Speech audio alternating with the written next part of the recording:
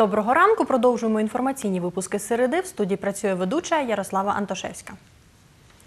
14 тисяч 298 першокласників вчитиметься за освітньою програмою Нова українська школа на Хмельниччині. Про це повідомила заступник директора департаменту освіти та науки Хмельницької облдержадміністрації Тетяна Дупляк.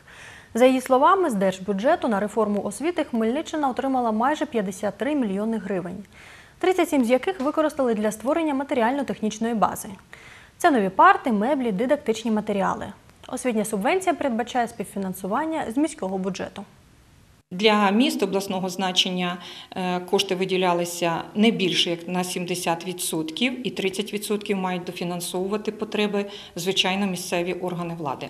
А е, для районів та об'єднаних територіальних громад е, цей відсоток доходив до дес- до 90 і тільки 10% йшло із місцевих бюджетів. Ці райони, об'єднані територіальні громади, міста, органи влади, органи управління освітою безпосередньо кожний навчальний заклад активно працюють над реалізацією тих коштів, які вони отримали. І закупляють певне обладнання. На сьогодні в цілому вже майже 9 мільйонів реалізовані кошти. Це кошти, вже які вже проведені і на обладнання, і на парти, і на меблі. Моя колега Дарина Денисенко відвідала дві школи Ярмолинецького району. Чи готові там до роботи за освітньою програмою Нова українська школа? Дивіться в наших наступних випусках новин. Безкоштовно відвідати екскурсію залами Хмельницького обласного художнього музею можна буде з 23 по 24 серпня з нагоди Дня державного прапора і Дня Незалежності України. Про це повідомила директорка музею Ольга Долінська. За її словами, святкова музейна гостина триватиме впродовж двох днів з 10 до 19 години. Ми запрошуємо усіх е, подолян та гостей нашого е, краю долучитися до акції, е, яка буде включати у себе безкоштовні екскурсії залами музею. Це як наші, де демонструється, експонується постійна наша експозиція, а також е, зали, у яких є тимчасові виставки. Наразі це виставка творів е, народної художниці України Марії Примаченко. Вона і приурочена до цих свят. А також Сергій Параджанов Імпресія дотику. За словами Ольги Долінської, окрім безкоштовної екскурсії залами музею, працюватиме художня майстерня. Також для відвідувачів буде організований показ мультфільмів. Ми запропонуємо долучитися до мистецьких практик, е, власне, долучитися до розмальовок, е, такі розмальовки за творами Марії Примаченко.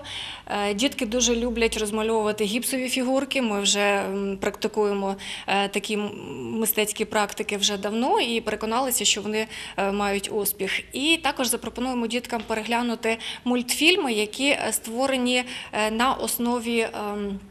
Творів е, мистецтва. Е, Зокрема, це буде мультфільм Свято, який створений за мотивами творів Марії Примаченко. Два нових мурали розпочнуть малювати у Хмельницькому 3 вересня після закінчення фестивалю Республіка. Про це повідомив організатор заходу Андрій Зоїн. Нагадаю, фестиваль Республіка триватиме у Хмельницькому з 31 серпня до 2 вересня. Республіка славен тим фестиваль, що ми постійно, куди їдемо, там малюємо. Тобто ми шукаємо якісь занедбані будівлі або будинки сірі і малюємо там мурали. Ну, у нас є 3-4 об'єкти, які ми хочемо зразу після фестивалю розпочати. Один, по-моєму, він називається управління торгівлі, так? Така велика будівля, яка нагадує стара будівля, стара будівля в дусі 18 Ну нам ми хочемо її застарити. Да? Такий цікавий досвід. Ми ще його не робили, в принципі, ніде. Ще біля 25-ї школи є велика стіна, яка вся ісписана поганими, ну велика, метрів 50 і метрів 5 висоту. І ми хочемо також цю стіну замалювати, тому що дитина, яка кожен день бачить якась якісь цікаві картинки, я думаю, що вона по-іншому сприймає світ. Це остання інформація випуску. Далі твій ранок, а ми побачимось о 13.30. Залишайтеся з нами.